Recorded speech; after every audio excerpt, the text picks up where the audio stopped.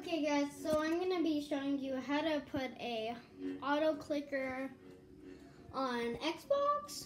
Um, I don't know any other way to put like an auto clicker, but this auto clicker is free unless like you get like an Xbox. So other than that, I already have my auto clicker on.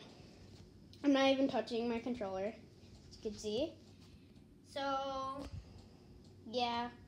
Uh, but this is so awkward.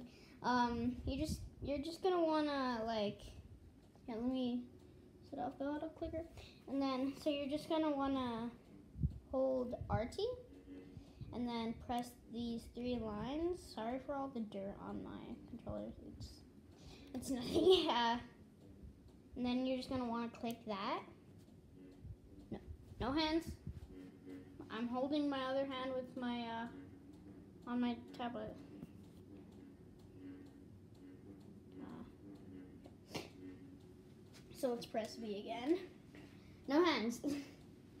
so it's auto clicking. So that's kind of what you're gonna want to do once you're like trying to grind on a simulator or something. So yeah. Okay, goodbye.